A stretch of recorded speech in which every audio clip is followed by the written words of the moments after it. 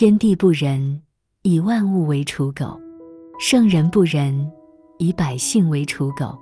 老子《道德经》这段经典名句被引用的频率很高，但是误解也很多。我们不解的是：天地既生万物，为何不仁？圣人德行崇高，为何不仁？且看和尚公如何一语道破。老子和尚公章句为战国时道家神人和尚公所撰，他对《道德经》这段名句的注释是。天地不仁，以万物为刍狗。天师地化，不以人恩，任自然也。天地生万物，人最为贵。天地视之如刍草狗畜，不贵望其报也。圣人不仁，以百姓为刍狗。圣人爱养万民，不以人恩，法天地行自然。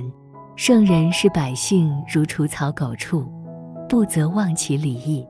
刍狗原为古时用草扎成的狗形，供祭祀用，用完即丢弃，比喻轻贱无用之物。和尚公神人神解，将刍狗定义为除草狗畜，就可以意会除草狗畜指的是植物和动物的统称。因此，老子说的刍狗，代表的是天地之间的一切生物。整句话的要义为。天地和圣人不施人恩，任其自然，对待所有生灵或百姓一视同仁，没有分别心。和尚公的说法是不是令您茅塞顿开呢？